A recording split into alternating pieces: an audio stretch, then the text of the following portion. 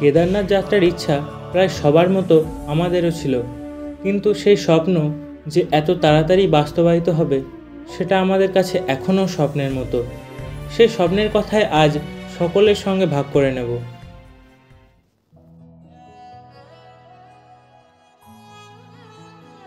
আঠেরোই জুলাই রাত সাড়ে এগারোটার সময় আমাদের ট্রেন ছিল দুর্গাপুর স্টেশন থেকে।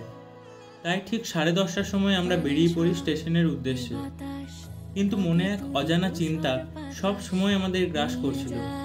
কারণ এর আগে কোনোদিনও আমরা চারজন মিলে এত দূরে কোথাও যাইনি। তাই ভগবানকে স্মরণ করে রওনা দিই দুর্গাপুর থেকে হরিদ্বারের উদ্দেশ্যে।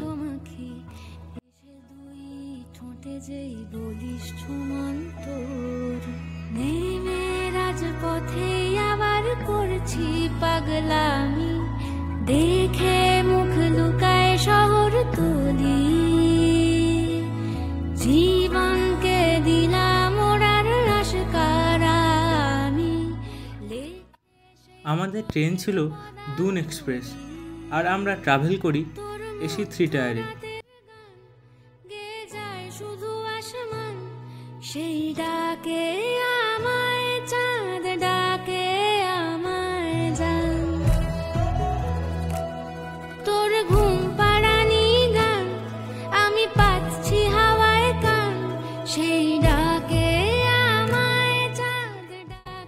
চায়ের কাপে চুমুক দিয়ে ট্রেন থেকে বাইরের দৃশ্যটাকে বেশ ভালোই এনজয় করছিলাম।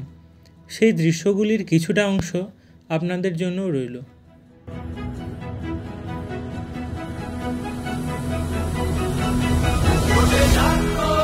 মনোবুদ্ধি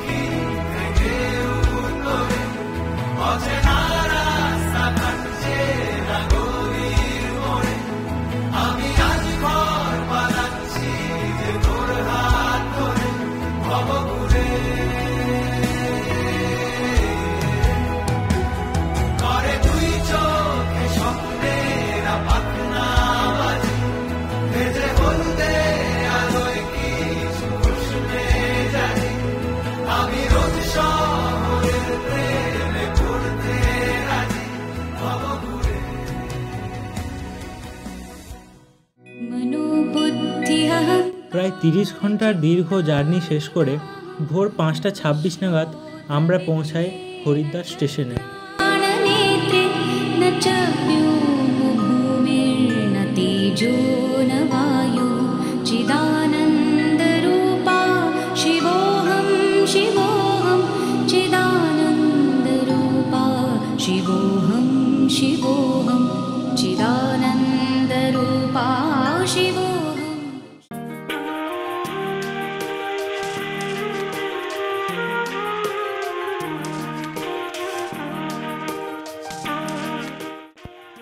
হরিদ্বার পৌঁছে আমরা ফ্রেশ হয়ে বেরিয়ে পড়ি সীতাপুরের উদ্দেশ্যে।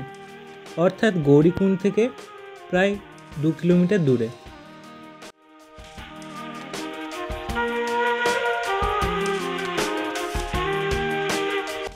হরিদ্বারের প্রাকৃতিক সৌন্দর্য উপভোগ করতে করতে কিছুটা ক্যামেরাবন্দি করে রাখলাম, যা এখন আপনাদের সামনে।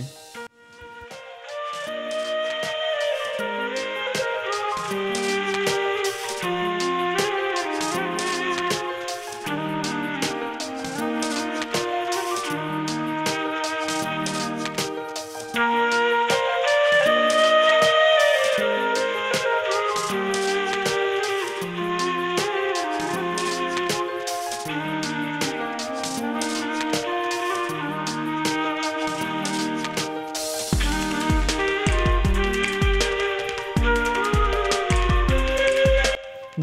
হওয়ার কারণে আমরা প্রচুর পরিমাণে ল্যান্ডস্লাইড দেখতে পাই।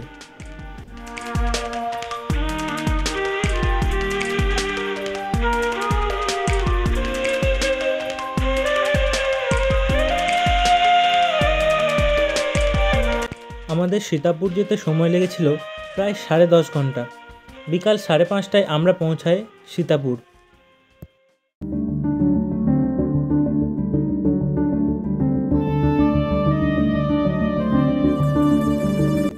পরের দিন ভোর চারটের সময় উঠে রেডি হয়ে আমরা বেরিয়ে পড়ি কেদারনাথ যাত্রার উদ্দেশ্যে। সীতাপুর থেকে প্রথমে আমরা গেলাম সোনপ্রয়াগ এবং সেখান থেকে শাটেলে করে গেলাম গৌরীকুণ্ড।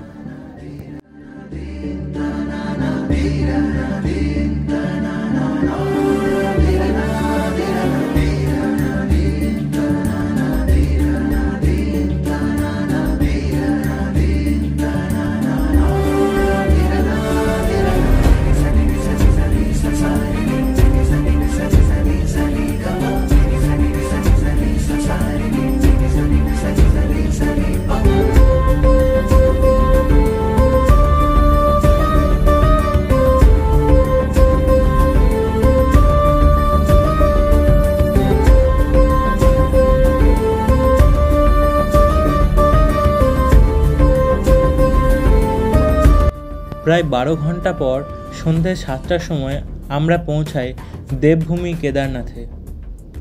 এখানকার ওয়েদার এক কথায় ভয়ঙ্কর সুন্দর। কখনো মেঘে ঢাকা, আবার কখনো রোদ ঝলমলে।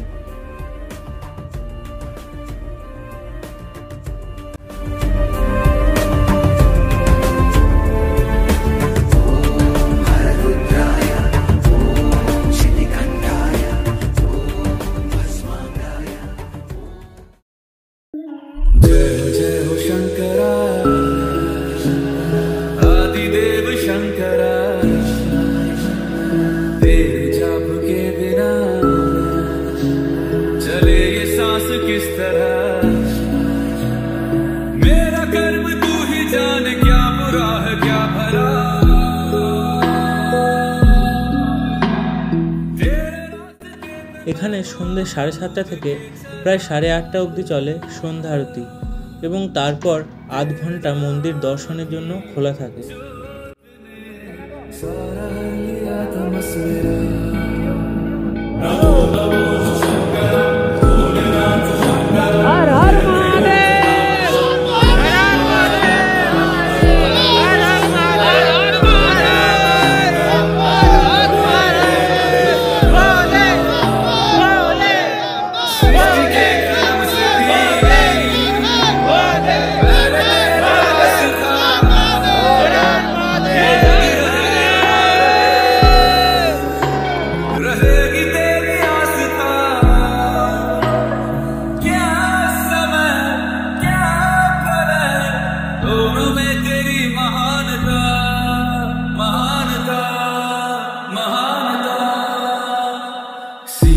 की ओट में मोतिया हो जिस तरह मेरे मन में शंकर तू बसा है उस तरह मुझे भरम था जो है मेरा था कभी ভোর পাঁচটায় মন্দিরের দরজা খোলা হয় সেই মতো আমরা প্রায় চারটে নাগাদ মন্দিরে পৌঁছে যাই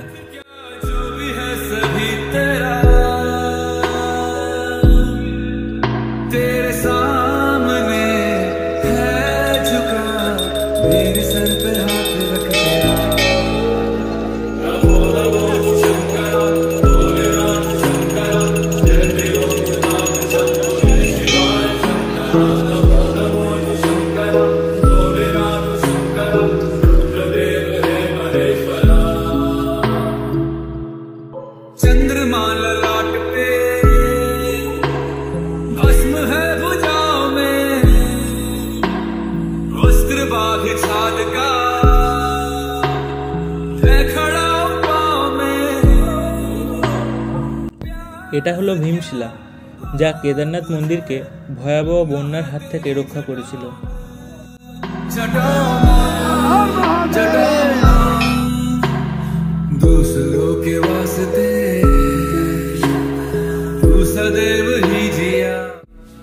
আমরা বিকাল সাড়ে পাঁচটায় কেদারনাথ মন্দির থেকে সীতাপুরে ফিরে আসি। এই ভিডিওতে আমাদের গল্প এতটুকুই। পরের গল্প মানে বদ্রীনাথ যাত্রার গল্প ঠিক এখান থেকেই শুরু হবে।